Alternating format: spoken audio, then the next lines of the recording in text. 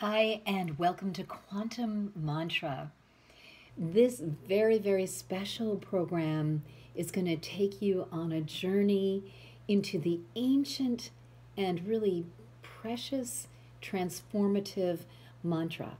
Now, we have done some of these things, we've visited some of them in other trainings, but this one we're really looking at the longer mantras the ones that you might spend 15 or 20 minutes or an hour chanting, not the little short ones. We're going to be doing the prolonged, beautiful mantras like Yadeva Sarva Bhutishu Thirsti Mayen Shamstita Namaste Namaste Namaste Namo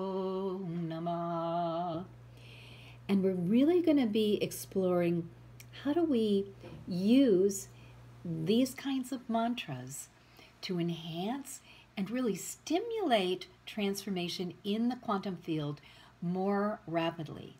So uh, it's an exciting class. We've never done this before. I'm actually going into the studio right before this training, a week before this training, to record a few longer mantras. So we're going to have some long mantras that we're working on that I think you're going to really love.